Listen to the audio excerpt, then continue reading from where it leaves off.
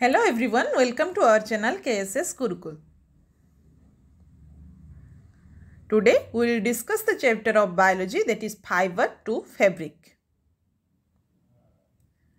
This chapter includes six headings namely variety in fabrics, fiber, some plant fibers, spinning cotton yarn, yarn to fabric, history of clothing material. First come to the topic variety in fabrics.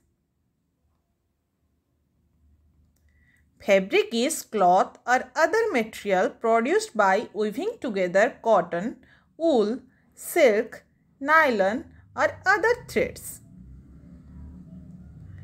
Fabrics are used for making things such as cloths, curtains and sheets.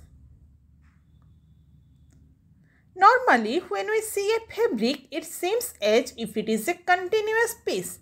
But if you look at it very closely, we will find it to be made up of yarns or threads. Next come to the heading fiber. When we try to thread a needle, the end of the thread is separated into a few thin strands which makes it difficult to pass the thread through the eye of the needle. The thin strands of thread are made up of still thinner strands called fibers. So, fabrics are made up of yarns or threads and yarns are further made up of fibers. Fibers are of two types one is natural fiber, another is synthetic fiber. Natural fibers again divided into two types. One is plant fibers, example cotton, jute. Another is animal fibers, example wool, silk. Wool is obtained from the fleece of sheep or goat, hair of rabbits, yak and camels. Silk fiber is come from the cocoon of silkworm. But nowadays fibers are also made from chemical substances. These are called synthetic fibers. Examples are polyester, nylon and acrylic. Next come to the heading some plant fibers. Cotton. Cotton is a common plant fiber which is grown in the fields having black soil and warm climate. Gujarat, Maharashtra, Telangana, Karnataka, Andhra Pradesh, Haryana, Madhya Pradesh, Rajasthan and Punjab are some states where cotton is grown. Cotton wool is mainly used for filling mattresses, quilts or pillows, wicks for oil lamps, etc. The mature cotton bolls burst and cotton is harvested by hand then cotton fibers are separated from the seeds by combing. This process is called ginning of cotton. Jute Jute is one of the most affordable natural fiber which is obtained from the stems of the jute plants. It is cultivated in rainy season. Jute is mainly grown in West Bengal, Bihar and Assam.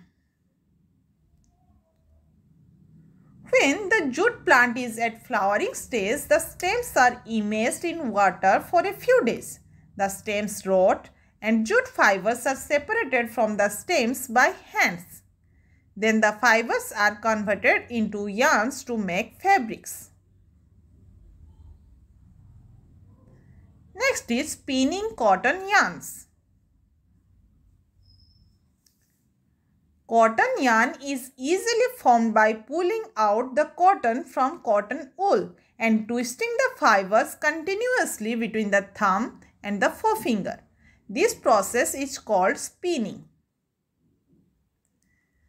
The devices that are used for spinning are hand, spindle or takli and charkha. During independence movement, charkha was popularized by Mahatma Gandhi as he encouraged people to wear clothes made up of spoon yarn known as khadi and spoon imported cloth made in the mills of Britain. To popularize and promote Khadi, Khadi and Village Industries Commission is constituted in 1956. Traditionally, spinning is done by hands, but nowadays machines are used for spinning of yarn on a large scale. Then the yarns are used for making fabrics. Next, let's discuss about yarn to fabric. There are two main processes by which fabrics are made from yarns. One is weaving, another is knitting. Weaving. Arranging two sets of yarns together to make a fabric is called weaving process. Weaving of fabric is done on looms which are either hand operated or machine operated. Knitting.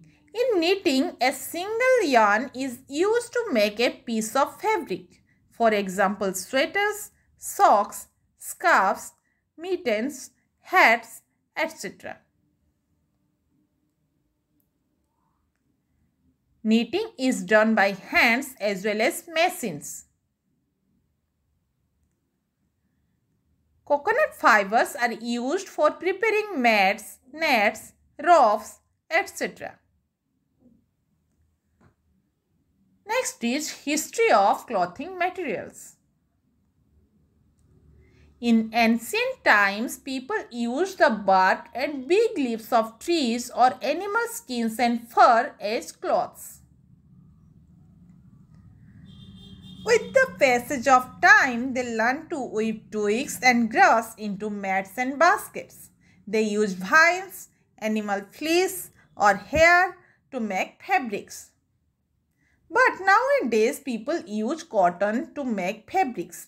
Cotton mostly grew in the regions near the river Ganga.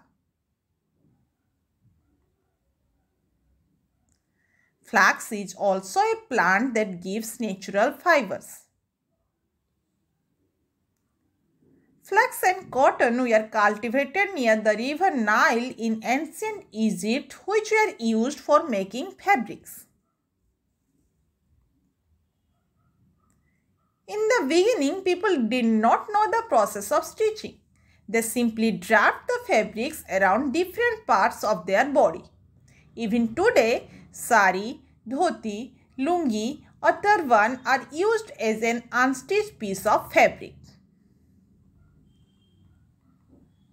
But with the invention of the sewing needle, people started stitching fabrics to make clothes which have gone through many variations till now. The summary of this topic is cotton bolls by the process of ginning turned into fiber. Fiber by the process of spinning turned into yarn. Yarn by the process of knitting and weaving turned into fabric. This was all about this topic. Feel free to subscribe, like, share your valuable views. Thank you for watching.